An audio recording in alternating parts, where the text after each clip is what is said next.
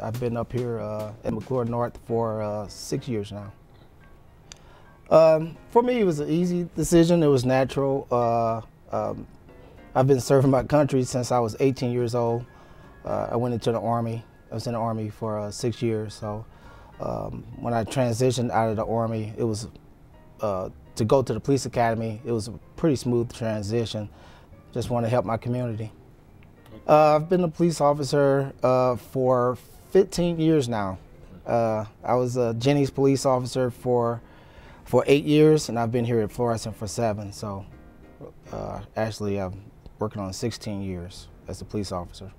Coming from where I come from, uh, born and raised North St. Louis. Um, a lot of people in my family, they didn't go to college, they didn't go to the military.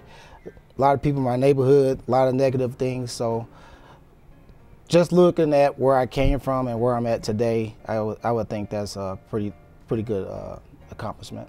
Don't be a, uh, another statistic, you know, uh, stay away from crime, stay away from negative things, uh, you know, by all means, uh, get your education and uh, put yourself in a position to help your community.